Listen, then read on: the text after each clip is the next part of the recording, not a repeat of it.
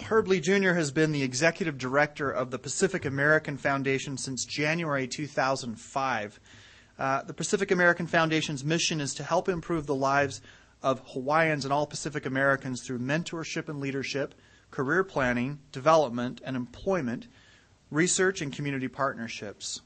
Uh, Mr. Lee is a professional musician, songwriter, and recording artist, and is also president of Aloha First International, which focuses on the perpetuation of Hawaiian music, culture, and the arts. In 1995, he uh, founded the Waikalua Loko Fish Pond of Hawaii uh, Preservation Society, a nonprofit organization to manage and implement a preservation plan. President of Lee Communications Incorporated since 1987, which specializes in community involvement and public participation strategies. Uh, Mr. Lee was a former chief of staff to the Honolulu City Council chair, Patsy T. Mink, and has been the project manager of the Kahea Loko, Aloha Aina, and Malama Kaho'olawe culture-based curriculum development projects funded by the U.S. Department of Education and the Office of Hawaiian Affairs fo- focus on ancient fish ponds, the Ahupua'as, uh, the land division, and the island Kaho'olawe. Uh, born, raised, and educated in Hawaii, Lease graduated from the University of Hawaii at Manoa with a degree in psychology and political science and then a graduate degree in political science. His topic today is integrating traditional knowledge with 21st century education strategies, relevance, rigor, and relationships. Please join me in welcoming Herb Lee Jr.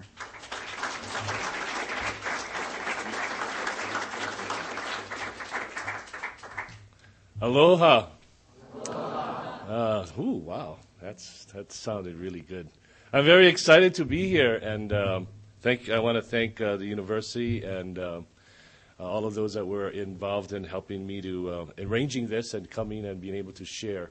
Um, my purpose here is to is to share and to really kind of uh, share experiences that we've had that works for us in Hawaii, and uh, and hopefully to plant a seed here in Utah, uh, and maybe you can you know, take this seed and you can add your own knowledge to it, uh, as we say in Hawaiian, malama, to nurture it yourself, add your own mana'o, your own thoughts, your own ideas that are particular to your own community, and make it grow and flourish for yourselves as well.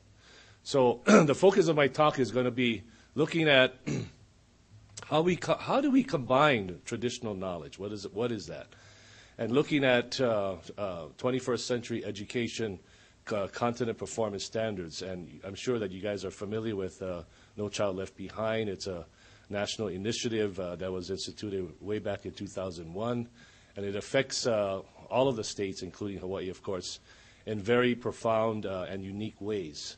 Some of them uh, positive, and some of them not so positive. And so, the purpose of my sharing with you today is to take a look at all those all those things and maybe how we can come up with maybe a better model to look at that serves the particular needs of the 50,000 Native Hawaiian kids that are part of our public education system in Hawaii.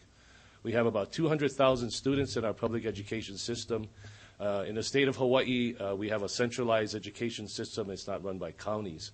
So, um, unfortunately, when we look at the demographics, we look at the statistics about student achievement, um, we find that uh, our Native Hawaiian population are really overrepresented uh, in the you know in the non-achievements uh, category, and so um, about two years ago there was a about 70 organizations in Hawaii that got together and we started an initiative called Na Lau Lama, and so I think I I uh, have two handouts over here on the on the table if you don't get it. One is culture-based education on the top. They're both different, and the other one is indigenous assessment. So if you get a chance, this will give you kind of a, a highlight of some of the uh, what we term best practices that came out of that conversation over a period of about two years. And what we're trying to do now is to incorporate some of those best practices into a new education model, uh, combining the best of both worlds. And not saying that one is better than the other, but really taking the best of the Western model as well as the traditional model and coming up with something that we feel works better for our learners, for our students. And it's something that uh, has been um, that has really caught fire here in, uh, in Hawaii, and um, people are, have been very interested. So I'm, I'm very happy to be able to share a little bit about some of our experiences and uh, also show you some really great pictures of uh, kids um, that uh, are interacting. And, and really, it's about motivating our kids to be better learners. and, you know, we, we, we put forth the value that learning is lifelong. We all know that now. You know, when we were younger, we thought, you know, wow, once we graduate from high school, maybe go to college, and that's it. Learning is over. You know, now we go into the real world, we apply it, we try to get jobs and things like that. But you know, the world is a, a much different place than it is when even I when I was growing up, and uh, so we're looking at new ways to really motivate the kids to learn. Uh, statistically, in Hawaii, uh, we have about 30, nearly 30 percent of our students, our Native Hawaiian students, that are dropping out of high school around the ninth grade because for whatever reason, you know, they don't understand, they don't, they don't feel that what they're being taught is relevant to their life and, and to um, looking for opportunities to apply that knowledge. And so, you know, there's all kinds of good reasons, obviously, for us doing this, but basically, it focuses on trying to uh, increase student achievement motivate our kids to learn and be the best that they can be. That's the bottom line in all of this. So, moving on, I just want to kind of go uh, uh, and a little bit tell you about some of our, our Pacific American Foundation, and, uh, and then we'll get right into the, the, the topic. So, three things.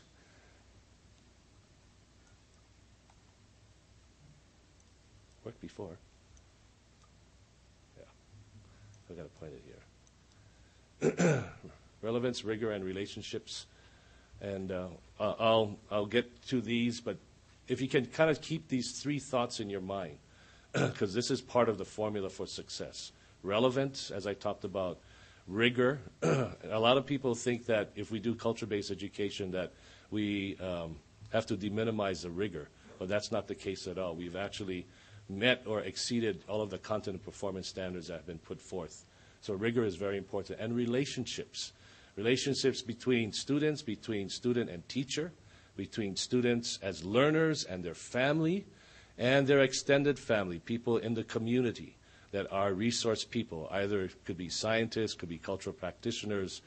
Um, um, all of these relationships are very important in terms of uh, a student feeling that they, they have a trust relationship and that the knowledge that is being shared is something that is reciprocal and also that they care about them being good learners and, and accomplishing uh, and being the best that they can be. Very, very, very important. Probably one of the most important things. Pacific American Foundation, uh, as I said, um, uh, is our mission is to improve the lives of Pacific Americans, and we serve basically uh, all of the uh, uh, indigenous people of the Pacific region and, the, and in the Pacific in Hawaii, and we also have a reach on the continent United States, uh, primarily in the states of uh, state of Washington, California, Utah, Nevada, and um, uh, and we have we have uh, some presence on the East Coast as well in the in the Washington D.C. area. These are our five major pathways, uh, as was uh, introduced: education, mentorship, leadership training, employment, research, and community partnerships. That's what we kind of focus on.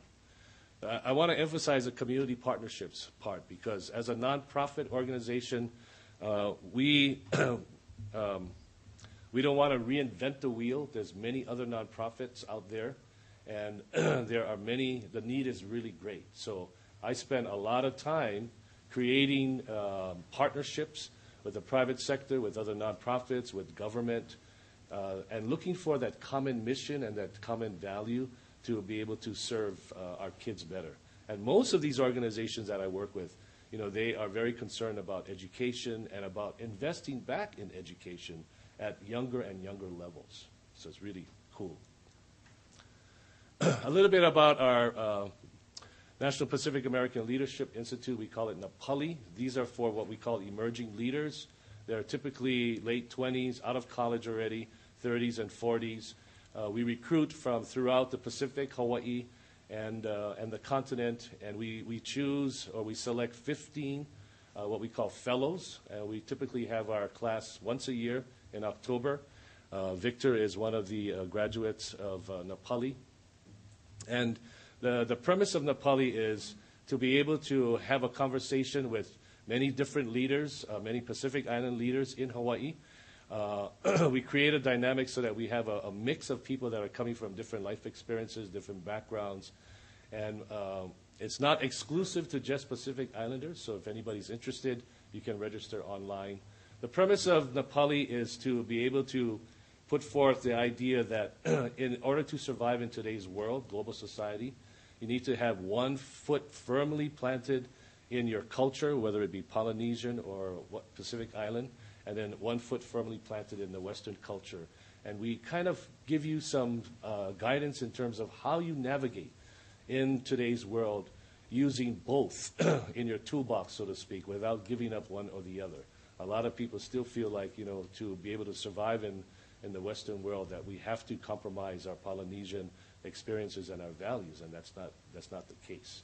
So, uh, and we have the benefit of sort of mixing it up with uh, kupuna elders that have gone, that have been very successful in government, in education, in health, in business, um, in the military, in, in the religious sector, and to be able to draw on some of their life experiences and to be able to incorporate that. And the idea is when you go back to your communities, then hopefully you will be empowered to, to take your place as a, as a leader in your community and to be part of a ohana, or a family network throughout the country and throughout the Pacific to reach out and support each other. so this just kind of reiterates uh, what I just said. So traditional knowledge. What are some of the the uh, words that come to mind uh, when you think about traditional knowledge? Well, these are some of the things that, um, in talking with people, uh, they have told me. Indigenous, it's native, it's cultural, there's protocols, like the protocol that we did when we came in and entered. There are different beliefs, customs,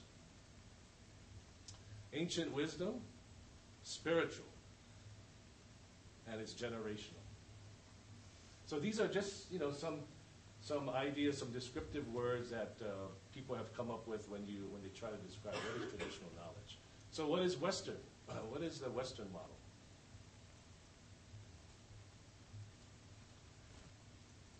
Some of the words that come to mind that people have shared is that it's introduced. It's in Hawaii. It's introduced, obviously. The first missionaries uh, to Hawaii came in the 1820s, um, and um, there, you know, the, the, the, conversion over to a Western education model occurred probably around the late 1800s. After that, it's foreign. It's scientific. It's technical. Research-based, pragmatic, one size fits all. I love that one. Superior, institutional. so, I'm going to show you just a real quick glimpse. At the turn of the century, 1900, uh, there were less than 30,000 Hawaiians left. When Captain Cook first came to the islands in the late 1700s, they estimated that there were about maybe a half million to 800,000 Hawaiians that were living throughout the Hawaiian chain. By the 1900s, there were less than 30,000 left. Primarily is because of um, disease um, and moving from a subsistence kind of economy to a more uh, uh, market economy uh, that changed in the 1850s. And, uh, and the population was not ready for it. so this is a, a typical kind of school at, at, in the 1900s, just to kind of show you. So we're looking at trying to combine the best of both worlds in the 21st century, combining the best of traditional knowledge and the Western model. and basically, this is uh, the three things that we came up with. It's relevant, it's rigorous, and it's built on relationships. so the relevant part is, and I actually have, um, I'm going to pass this around this, uh, you can kind of look at this. Culture-based and place-based education. Uh, to me, culture-based is, is, sort of the overarching uh, philosophy. Place-based is actually utilizing the community as a classroom. So in addition to coming to uh, institutions like this, also taking advantage of going to places Um, and I'll show you some places in Hawaii that we use as sort of a community classroom. We call that place-based education. There's a lot of research going on throughout the country now about the validity of being able to incorporate place-based education as part of mainstream uh, institutional education. So that's things like for in Hawaii, that's going to the ocean, going to the mountain, going to the forest, uh, understanding the interrelationships of the streams as it flows from the mountain to the sea. It's looking at uh, the taro patches, the water flowing to the taro patches, coming out, bringing nutrient-loaded water, coming into the, the back of the fish pond. And looking, looking at wetlands, looking at all of these geophysical features of the islands that's unique to the islands, and being able to incorporate the, the ancient wisdom of how they were able to develop a sustainable ecosystem and aligning that with science, math, social studies, and language arts standards from all grade levels. So with NCLB, with, uh, uh, with the Hawaii Competent Performance Standards, there are specific now benchmarks. Everybody has to teach to standards now, right? Every grade level, you have to hit certain standards in all of the core areas. And we have developed curriculum that meets all of those standards at every grade level and incorporates the traditional knowledge. And it's based on, and the purpose of it is to make what they're learning meaningful in their lives. So when they go home, you know, they, they understand that what they do when, when the family goes out fishing or when the family goes out to harvest, you know, taro or banana or whatever it is, that there's a, there's a relationship now and that they, there is a, there's a sense of relevance. So what I'm passing around is, you know, what it looks like, you know, what a, a typical lesson plan looks like and how do we do that. The interesting thing about culture-based education is that it's not um, it's not your typical you go to a, one class and you learn science, you go to another class, you learn English, you go to another class, you learn math. Culture-based education, you look at the lesson plans, it is integrated. So it is student-driven. So if we're going to be teaching, say, about fish ponds, it integrates the science, math, you know, social studies, all of the core standards together. So you're learning all of these things simultaneously instead of you know being in, in different boxes. So that's the, the relevant part. The rigorous part, you know, we have where we have evolved what we call indigenous assessments, uh, using the best of the research methodology and evaluations, and coming up with our own holistic evaluation. So it's not just based on GPA or SAT scores or ACT scores. We're looking at the learner as a whole, and we're looking at um, all the different ways that, that he or she learns and that includes interviews, talking with teachers, parents, peers, uh, coaches, and see you know how their, their maturation, how their growth process is, is coming. We also have a very interest, interesting way to assess uh, if they really got it. We call it ho'ike. It's a way for them to demonstrate in the front of their peers or masters to see if they really got it. So if I'm going to teach uh, the science of wall building, how, how are we going to how do we mathematically build this wall to be, to be able to allow thousands and thousands of gallons of water into this, into the pond, looking at the, the tides and the moon and the stars and all that kind of stuff. How do you do that? So we get to a point where, where, we, where they've been taught something like this, and then now they have to demonstrate to us in a Ho'ike format, how do you actually do that and show us. It basically means to so that's part of the rigorous and the relationships I talked a little bit about. It also empowers learners to be resilient. It has enhanced their self-identity, their self-esteem, because once they get motivated to learn and once they understand that the knowledge that they're learning is relevant to their own situation, you know, that is huge in terms of that self-identity, that self-esteem, and probably more importantly, the efficacy part. Knowing that I can, I can do this. I can do this higher order thinking. I can do this higher order, uh, you know, I can come up with my own hypothesis and I can figure out why it works or why it doesn't work. If it doesn't work, I'm going to try again, right? So that is huge. That's a resilient factor. And that is important because a lot of our kids are coming from families that are maybe single parent or they're living with grandparents and they don't have somebody home that's always supporting them and being the best advocates for their education. So, you know, you have all of these other external factors that begin to uh, impact, you know, a student's uh, ability to learn. And so this, this resilient part is very important. And probably the final and most important thing, that once we get them to the point where they take responsibility for their own learning, then you know you got it. That's, that's, the, that's the part. Then we take them and then we do all these other things uh, in terms of help, helping them with getting into colleges or technical education or vocational training, sports or whatever, and uh, being able to hook them up with careers and uh, scholarships and whatever, whatever, whatever else it takes to get them to that next level. It's really amazing. So this is uh, basically reiterating my definition of culture-based education. It's aligned to standards, it's place-based, I'm sorry. It's uh, using uh, experiential kind of an effort, and it's student-driven, yeah? Normally in the, in the public education system, you walk into the classroom, especially in the elementary school, right? Teachers, I mean, I love teachers, I have the highest respect for teachers. We spend a lot of time in the classrooms, and, uh, you know, sometimes sixty percent of their time is just trying to discipline kids, you know, um, and they never get to actually the learning part, you know, um, and it's, it's difficult because kids come to school with all kinds of things that are going on in their lives that are really not part of the, you know, the, the learning environment. So that part is very important. So, and, and we also know now that, you know, there, human beings have multiple types of intelligences. Everybody is not the same. It's not one size fits all anymore. Some people are visual learners. Some people are more tactile learners. Some people are more kinesthetic learners. Some people are more hands-on. That's what kinesthetic means. Some people can, you know, memorize and, and, and read books and get, get it like that. Some don't. and we find that a lot of our Polynesian students are really visual learners and they're tactile learners. So we try to design curriculum and experiences so that it takes advantage of their innate gifts and talents and really tries to nurture that to the highest uh, degree possible.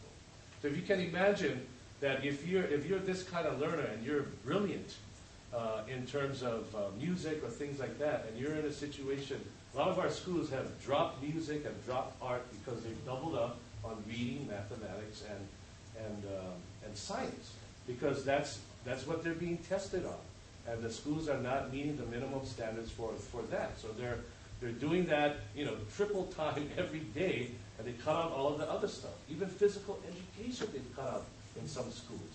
So can you imagine if you're this kind of a learner and you're going through this kind of experience, by the time you go through a number of years, you're like, I can't take this anymore, right? I can't take this anymore. I'm out. And here is a parents going, you know, what's going on? What are you guys doing to my student? You guys, you know, the, the education system has not adequately addressed the needs of kids. And so it has to be student driven. We have to look for solutions that are, look, are looking at the unique um, challenges that students are facing now. so really quickly, uh, focus on the student. We're looking at a context. There's a model in here in the culture-based um, handout that I have that kind of puts this into a graphic. It's about context, meaning, you know, going out to the to the community classroom. It's about content that, that includes knowledge, that includes language, values, and spirituality. for our Polynesian people, for our Hawaiian people, that mana, that spiritual understanding of mind, body, and spirit being in alignment is absolutely essential to the learning process.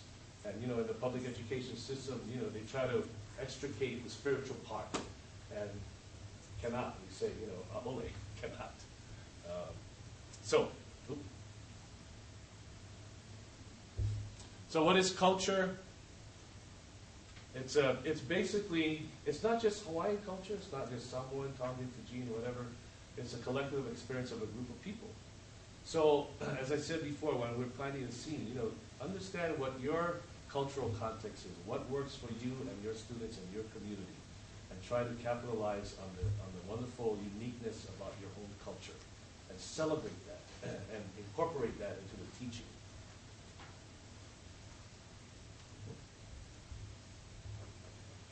Seem to, is Bryce here? Seems to have a glitch.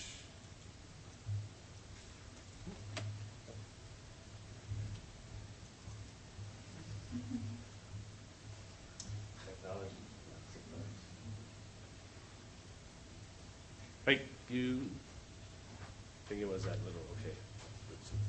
Oh, did I touch something? Okay, thanks. Okay. Values. what are values? This is just kind of reiterating what I just spoke about. You know, everybody is different. Everybody's unique. so in Hawaiian, the basic building blocks of learning for us is a combination of vai vai, ike, and noel. Can you, uh, uh, are you guys? It's for the recording. Okay, so I should stay here then. If you can. Okay, sorry. okay, so, which translates to values, knowledge, and skills. These are our building blocks. This, uh, this term in Hawaiian, a'o, is a very interesting term, and it kind of reiterates what I've been saying in terms of the reciprocal responsibility of learning. a'o in Hawaiian means to teach as well as to learn. So a student and a teacher have a reciprocal responsibility. Let me give you an example. a lot of the teachers that we train don't know nothing about, say, fish ponds, okay? Hawaiian based fish ponds. But um, Kalani has grown up on the fish pond all his life. He's in the ninth grade now, and now his science teacher wants to use our curriculum, and he wants, they want to teach all his classmates about science in the local fish pond in his community. Right? So now the class goes down there. Who becomes the teacher? It's Kalani. He, right? He has the knowledge. So that's that, that's that concept of a'o. Now the teacher becomes the student. Right? And that dynamic, that relationship is very, very powerful and to understand that as we go through life and we adopt the, idea that we are lifelong learning, that we have to be humble enough to know that sometimes we have to be in that ha'a role or that humble role, you know, and we have to be open to ideas, even if it comes from somebody that's way younger than you, right? And what we have found is that that really gives, and we talk about self-identity and self-esteem for that for Kalani all of a sudden his classmates see him as something that they never saw him before as. He becomes that leader. He becomes that, that model. And this is something that is just like second nature to him, no big thing, right? But it is very powerful dynamic. And that, that concept is very, very critical. Inquiry. You know, these are, we're talking about the same things when we, when we look at trial and error. And I like to use, um, you know, in, in forming hypotheses, we go through all of these things, right? Risk taking, extrapolating, you know, looking at data and things like that. And I always use the example of wayfinding. Wayfinding is a, is a method uh, that was used for the earliest of voyagers, Polynesian voyagers. So we know now historically that the Hawaiian Islands were discovered by these voyagers. 1,500 years ago using no instruments except the stars, the moons, the winds, the currents, the fish, the birds, looking at all of these things as clues to determine where they were going. And we call that wayfinding today. Uh, and it's, it was a lot of trial and error. People say that there were generations of Hawaii Loa was the first explorer, Polynesian explorer, to discover the Hawaiian Islands 1,500 years ago. How did they do this? in our generation in 1975, we have some young Hawaiians that took up that mantle. They formed the Polynesian Voyaging Society, and they proved that they could sail without any instruments back and forth from Hawaii to Polynesia on traditional voyaging canoes. So these, you know, this kind of rigor, this kind of inquiry has always been there. All we have to do is connect the dots and connect it to the best of the tradition and the best of the Western. And, you know, for many years, people said, people discounted that they could even do that. There's no way that they could do that. And now we know, you know, that uh, that is, that's, that's true. So we're going to talk a little bit about fish ponds now. Fish ponds in Hawaiian history, um, there were probably about 500 fish ponds that were built throughout the state of Hawaii, uh, well, before we, we, we, were a state uh, in ancient times. And fish ponds it's like, you know, just going out into the forest and picking bananas and, and taro or things like that and going out into the open ocean and fishing versus actually being able to farm, you know, uh, fruits, vegetables, and fish and being able to understand after many years of observation how to design a system that would, would be able to sustain themselves and they would be able to fish farm and not just go out into the open ocean. Sometimes you catch, sometimes you don't, depending on the weather and all that kind of stuff. And if you had 10,000 people, you know, back on land, and your responsibility every day as a fisherman, uh, um, as a levite, uh, they call it, to go out and fish for the 10,000 people every day, and you come back and you don't have enough, you know, it doesn't work out too good. So the transition to uh, fish pond uh, mariculture uh, going back 800 years was huge in terms of the perpetuation of the culture and the race. And we know now uh, that the, the, the, population just kind of spiked up as these fish ponds were developed. The type of fish pond that I'm going to be showing you is, uh, is a fish pond that um, has not been duplicated anywhere else in the world. Uh, it's, a, it's a fish pond that's, that's built right on the shores of the ocean, and it brings in fresh water from the mountain, and there's a zone of mixture in the pond, which we call brackish or waikai uh, brackish water, a little, a little fresh and a little salt. And the chiefs wanted these conditions because they felt that the fish that were grown in these fish ponds were the best tasting. And, uh, and in our lifetime right now, these fish ponds are basically on the verge of vanishing. They haven't been taken care of for about 150 years.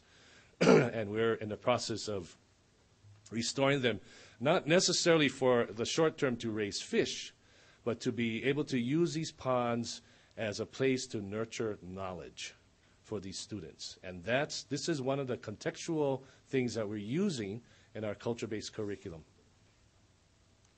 So going back, you know, this is Diamond Head over here. Uh, let's see if I can point this right there. and this in 1825, when the British explorers were still coming here, you know, Waikiki used to be basically all underwater. It was all fish ponds.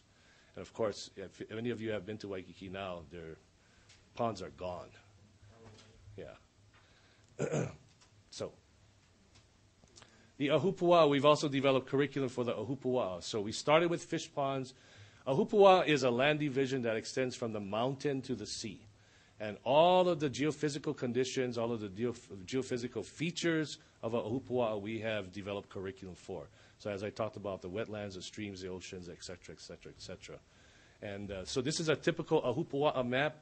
Uh, our fish pond is located right here in the Ahupua'a of Kaneohe. These are the mountain ranges right here. And the water, it rains on the mountain ranges and the waters flow down to the ocean over here. this is Kaneohe Bay today. Uh, and our pond is right there. You can see it right there.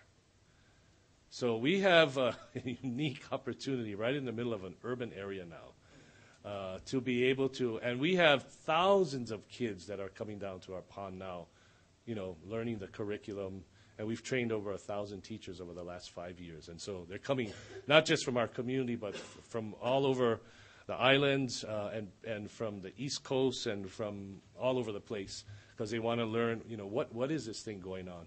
We also have in the middle of Kaneohe Bay this island over here that's owned by the University of Hawaii for the very first time. It is known as the Hawaii uh, Institute of Marine Biology.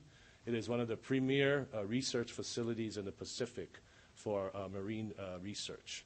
And so we have a wonderful partnership with them and with the colleges in our area. And uh, so we, we mix it, you know, the, their scientists are our mentors for our kids and our teachers and all of the cultural practitioners. So they're getting really high level uh, stuff. The name of our pond is Waikalua Loko, which means two waters. And this is where it is right here.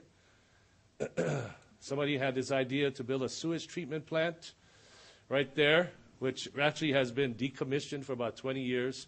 And we're hoping, we're in the process of trying to acquire this. We don't own it, but we have an agreement. It's gone through four different ownerships. We're trying to acquire all this and maybe turn this into a, an aquacultural research facility that will complement what we're doing for the restoration of the pond. so lots of issues to study, to think about, to hypothesize about, to um, contrast historically, you know, in the future. Great, great, great classroom. And this is what it looks like standing on the wall. And I'm just going to go through these, these really quickly because I want to get to some maybe, maybe question and answers. This is our first generation curriculum that was uh, developed uh, in the year 2000 to 2003. And these you know, represent all the things that I talked about. These are just pictures of kids coming down and learning science and uh, social studies, language arts, and having a great time. These are teachers uh, that are coming for their training sessions, and they come from all over. So it's not just focused on Hawaiian kids. It's, you know, when we put out the call for teacher training workshops, they come from all over. And um, we, all, we always get filled up really, really quickly. This is just, um, there's a lot of invasive, in Hawaii, we have the most invasive species ever, any place on the planet. We also have the most native amount of plants in the sea and on, the, and, and, and on land as well.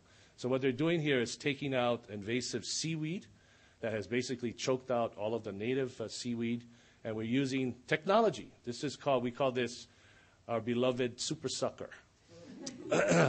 it's, a, it's a small version of a super sucker. It's basically an underwater vacuum cleaner. The kids will go into the water and just kind of make piles of all of the invasive stuff. Then we come with this hose and we just suck it up and put it into a, a, a raft or thing, take it on the shoreline, we deposit it, and then what happens is that the taro farmers will take the seaweed and put it into their taro fields up in the farm because high nitrogen. That's what they love. I've used it as fertilizer on my grass. Just taking, you know, washing out, take the salt out, throw it on the grass, lawnmower it, mulch it, and instant free nitrogen fix. we do all kinds of things. This is one of our kids uh, that started with us that has become, he just started college this year, and he's teaching the teachers now about the life cycle of the pond and the biology. And he, his, uh, um, his dream is to become a marine biologist. This is what the wall looks like. This is the ocean here, Kaneohe Bay, and this is the pond. And if you can kind of notice, the tide is coming up, so the water's are coming into the pond. We have three water passageways that basically empty the water from the pond every day, two times a day. Natural conditions. uh, this is uh, the name of our um, Ahupua'a curriculum, you know, the, the one from the mountain to the sea that has all of the other components. and these are just some activities that they do where rebuilding the, the, the wall was originally 1,400 feet long. It's about 12 acres in size, this pond. And it's relatively small by Hawaiian fish pond standards. Uh, the largest was 500 acres in size. I mean, these, we're talking about huge fish ponds. Um, and they were typically, we could harvest, we could propagate maybe about 2,000 pounds of fish per acre. and the fish are like, you know, they're herbivores, so you didn't have to feed the fish. You know, all we had to do is figure out how to grow uh, seaweed in the pond, and basically seaweed needs sunlight, so the water cannot be too deep so that the sunlight cannot penetrate. So, and it's brackish water, so the, the typical water depth of the pond is about 30 to 36 inches. The seaweed grows nuts, and of course, you know, it feeds all of the thousand pounds of thousands of pounds of fish.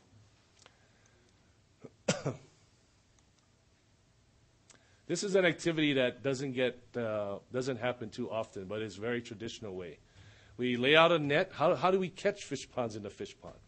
There's a lot of different ways, but one of the fun ways is to lay out a net. It's about maybe two or three hundred feet long, and then you make a human line, and you get sticks and you pound the water, and all they have to do is keep the line straight, and then they chase the fish into the into the fish net. Now the fish are very very smart. So if there's any gaps between people, they go right through them. Right? They, they're trying to run away. So it's, it's really fun. And they get to uh, do this, and then they have to uh, pull the net out of uh, the pond, and they have to identify the species. And uh, it's, it's, really, it's really great. So we call this makahana ka'ike. The knowledge is in the doing. Very simple concept, but very profound. Very profound. They're actually you know, over here, what they have to do is they, as a, as a fish comes out, they put them into buckets, and then this part of the, of the fish line, of the net is a part that they have to clean because there's all limu and stuff. So this is the part that they have to take out the stuff and throw the thing back in the pond because the net has to come out clean. Otherwise, you got to do it over again. we also have done uh, a thing called phytoremediation. Uh, this is utilizing a native plant. This is called a, a kuli kuli that grows at the pond. And we've been experimenting with ways to clean up the water of the pond because, as you saw, we're in the middle of an urban area. There's a lot of runoff, there's a lot of heavy metals, there's a lot of chemicals from ground termite medicine that has percolated in the ground over the years, things like that. So we've been looking at a way to basically come up with a way to clean the water. And uh, one of the scientists came up with this idea to use phytoremediation, using plants to basically clean up the water. And what happens is that they'll plug this plant on this little raft over here that they put it on the water. The green part is sticking up so they can have the sunlight. And then what happens is that the roots will grow down about three or four feet, and the roots will absorb uh, the water and some of the, the different types of chemicals in the water. And then, then you, after a period of time, then you remove the, you re- remove the vegetation and you dispose of it. So it works. It takes a little bit, uh, a, a long time maybe a couple of years, but it works, and it's a natural way instead of using any kind of chemicals to clean up chemicals. Uh, so, and these are things that they're learning, and they're hypothesizing and experimenting. Uh, these are rock, Rockwell building. We've also developed mentorship programs because, as I said, a lot of our kids, you know, don't have that really one stable, you know, adult in their life, and we've used all of these stewardship uh, opportunities to mentor kids as well and it's been very successful. So there's been a lot of spin-off programs that we've developed as well. We have fun. Again, they're laying the line. That's me right there.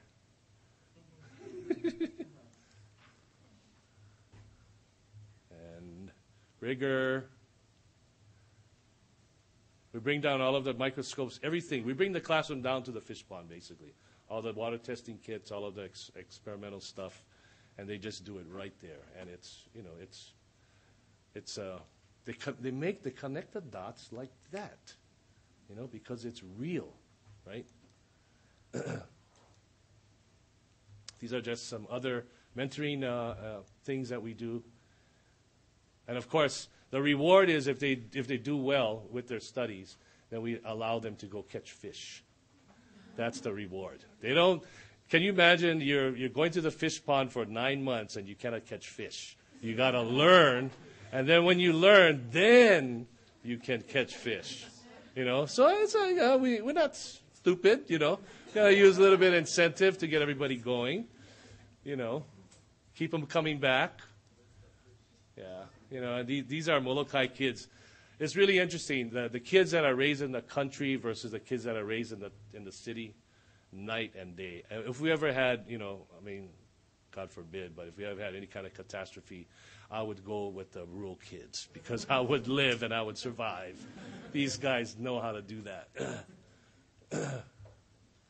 uh, one of the other great things that we've done is the kids get excited, they go home, they tell their parents, they tell their grandparents. So what we did was we designed these community work days so that the kids can bring their, their ohana, their, their family, extended, their friends, and they come and they, they, they see what are they all excited about. And then so this is an opportunity to, again, build relationships with family and friends. And they come and they, they malama, they care, they learn side by side with the kids. And again, the, the kids become the learner. And it's just a nice cycle that just is very supportive and reinforcing. They get to meet all of us, we get to meet them. And uh, it's, when we first started this in 1995, when we had these community work days, we had like five people, ten people show up. Now we're, you know, we're trying to restore a 13-acre fish pond that has been basically, you know, not maintained for 150 years. So there's a lot of work to be done. And now we have, these are Molokai kids. They wanted me to put this in there. so I said I would. um, oh, um, and we've also incorporated, you know, the, the, the community businesses, the civic clubs, um, organizations. They all now have kind of jumped on, and they all come and they all help now. So it really becomes a community building thing, you know. Um, so building strong individuals, empowering individuals, empowers communities. That's the that's the bottom line. So these are just some college students. so businesses. I'm going to go through this really quick. And This is what our community work days look like now. We have like two, three hundred people come out for four hours, and they work hard side by side. And it's amazing when you have many hands working on a project together and what you can accomplish in a short time. And people are just amazed. Wow, we built that in four hours?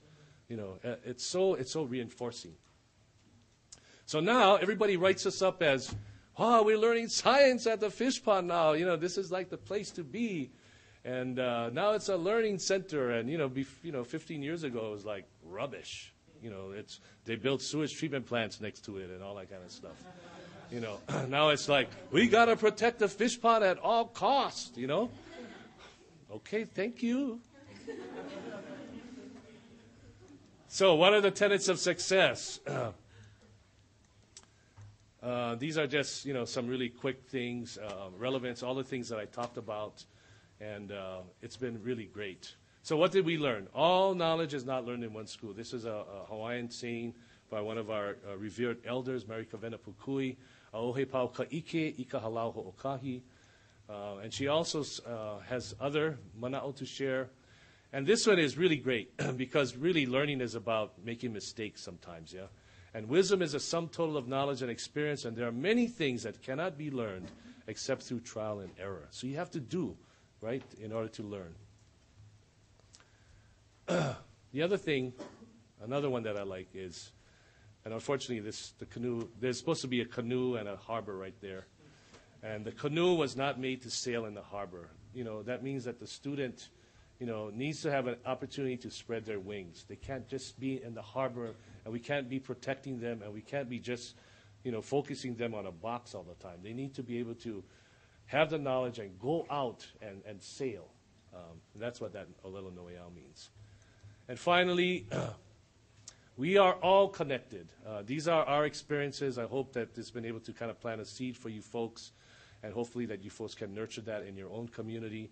And so I challenge you guys to define metaphorically what is in your pond, and how can you empower your community through the knowledge that you are gaining in this experience here at the university. How are you going to give back to your people, to your families, to your communities?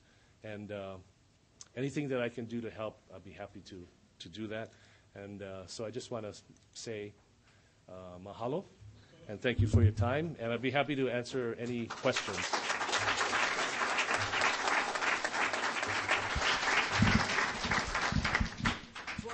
Raise your hand and we'll bring the mic because we're podcasting and video recording. You can tell us your name and your major so we know who you are. Yes. Hi, uh, my name is Jeremy Meek. I am a sociocultural anthropology major. Um, the question I have actually, it's I, I, I see that you know you've you've kind of um, redefined um, what the education model would be for your own community, and we see that you know in traditional Western models of education, it's kind of based off of this notion of competition, which is supposed to fil- facilitate you know the proper skills and abilities for a workplace where competition is equally uh, integral. Um, and it sounds like what you're doing here is um, learning is based more off of kind of a communal aspect, um, where students aren't competing. The co- competition isn't the integral part; it's cooperation. That's what it. That's kind of the impression that I've, I've gotten from your presentation. So I'm wondering, how are these students when they're uh, you know, you mentioned that it, they, they go on to get careers and stuff, so it still sounds like it's, it's career oriented. Yes. Um, how are the students adjusting after they go through this education process, which is, you know, cooperative and all that stuff? Um, how, how are they adjusting to this market environment where, you know, that may not be valued or looked upon as much? That's a good question. Um, I, you know, we're we're not trying to eliminate competition, but at the same time, in the traditional Western model, it's not all about competition. It's about learning, and it's about uh, empowering our kids to be the best learners that they can. So, um, you know, it's we we are in the process of. Uh, it's only been probably less than 10 years that um, that we've been able to sort of track. So it really has been, a, to me, a very short term. What we're looking at is to try to look for one cohort to be able to study from from the K to 12 and then that transition, all immersed in this, this culture-based education model. Right now, what it is is that maybe they'll try the model out for maybe a quarter, and then they'll go back to the old way. So it's really hard to. We've been able to assess in the time that they do it that there is a 15 to 20 percent increase in student achievement. But we need to uh, obviously apply more rigorous and longitudinal type of methodology and evaluation and assessment to look at it you know, in a more hol- holistic way. So the, the short answer to you is that we haven't eliminated competition, but it's not a priority. Uh, it's it's student driven and it's it's you know trying to focus on the needs of the student. And but what we are seeing is that uh, we are seeing a more high incidence of the of the kids that we've been exposed to and have an opportunity to work with that are uh, doing well in college and getting into college. Um, so that's a that's a good preliminary indicator for us that's driving us to keep doing this. So good question. And we, you know, we know that we have to look at things more longitudinally as well and really, you know, look at the data and really assess it uh, at a much deeper level. But, you know, we've had some discussion about the competition thing, thing uh, as well. And, um, you know, if you're in that environment solely and you're, you do not have some of the other stuff, then you get left behind. Because if that's not the, the way you learn, if you're in an environment and you don't learn well that way and it's all based on competition and grades. Now, I went to a private school as well, and everything was grades. Grades, grades, grades, grades, grades. That's what, that's what we did every day, competed for grades because we want to go to the next level, yeah. And uh, it worked for me, uh, but, you know, I had no, I didn't learn my, you know, we lived in a generation where the culture was suppressed, yeah. Uh, but now that, you know, we're looking at the current statistics of kids, you know, now that we know better, and we can maybe offer a, another model. Yes. I have kind of like a two-phase question. Number one, uh, how is your curriculum being accepted by the general education system here in the United States? And number two, like you mentioned at the end, is we're all connected. Right. What are the possibilities of this being accepted, for example, inner cities? Because they have their own culture and learning different styles, and obviously, I believe they could benefit from a same system. And are there any future plans or possibilities for that? Well, the short answer is that's why I'm here uh, to plant the seed, yeah, and make people aware that there's an alternative. Um, it hasn't been accepted nationally yet, but we have gotten uh, for my two projects on the fish pond and the Ahupua'a, we have gotten uh, a major award from the Hawaii Department of Education as one of the new um, uh, models for, for, for education in Hawaii. Um, the, under the federal government, uh, there's a council called the Native Hawaiian Education Council that where we got the funding, federal funding to do this. They selected our curriculum as a new model for culture-based education. It's online that you can take a look at. Uh, I'll be happy to give you the URL for that if you want to take a look at it. And uh, so, you know, we are making those strides. And uh, quite frankly, we are trying to make a paradigm shift, right? And it's going to, but it's not going to be, you know, instant. It's going to, it's going to take a long time, and we have to do more study, we have to do more work, and we have to reach more people. And not everybody, not all of the administrators in the Hawaii system have really jumped on board. So what we've done is worked with the complex superintendents and the principals and the teachers that are open to this idea and have incorporated it and are, and are continuing to incorporate it and sending more teachers. And so, you know, I believe in one small success creates another success, creates another success. And hopefully, over the next 10 years, this will be, instead of the exception, hopefully this will be the rule. Yes. Uh, do you have any relationship with the Polynesian Cultural Center, especially the Hawaiian Village Center? Not, uh, not specifically with uh, PCC.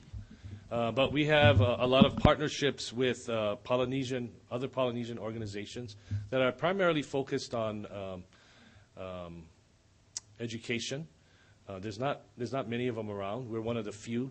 We partner with um, the Polynesian Voyaging Society, of course, and with uh, the the uh, Protect Kaho'olawe Ohana, because we're doing a major curriculum on the island of Kaho'olawe as well, and with the Kaho'olawe Island Reserve Commission. And there's never been, this is one of the first times that all of those organizations have kind of come together to do a joint project like this.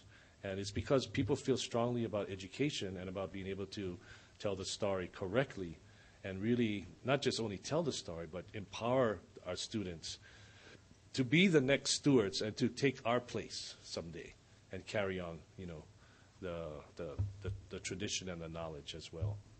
And then the follow-up question is, Yeah. do you, do you agree with the uh, Hawaiian royalty? Does brackish water produce the best tasting fish? It's one of those things that's beauty in the eye of the beholder. Because a lot of the nearshore fisheries in Hawaii are basically fished out, we're at the point where if you catch fish, I don't care if it came from brackish water or seawater, I'm eating it. as long as it's not polluted, you know. So yeah, it's it's you know it, it's a different thing. We hope that someday we can restore a lot of the fish ponds. There's only maybe about 60 of them left out of the 500 to be able to restock the nearshore nearshore fisheries, you know, in in the in the, the in Hawaii Hawaiian waters because we're basically fished out, which is unbelievable. There's a lot of invasive stuff that has come in that has ruined the coral reefs, and we got all kinds of invasive uh, fish and stuff, and and it's just it's not a good situation. So you know we're looking to hopefully cultivate you know a new generation of uh, marine biologists and scientists that are really uh, passionate about this this this issue. Yes. Well, you uh, close with a Oh, song for us? yeah. I'll be happy to talk, uh, answer any questions afterwards, but they want me to play a, a song. So, is that okay? I'm going to do this song called Hawaii Aloha, which uh, was uh, written by a reverend, and he wrote it right around the turn of the century, 1900, because he were, you know, as I said, people were very concerned about uh, the perpetuation of the people and the culture and the race. And uh, this song talks about Hawaii Aloha means beloved Hawaii, and it talks about the sands of my birth, and it also talks about Opio, which are the children, and and really paying attention to the children because they're going to be the next ones to carry on, and we need to pray for them. Uh, we need to pray that um, they have uh, more opportunities than we had.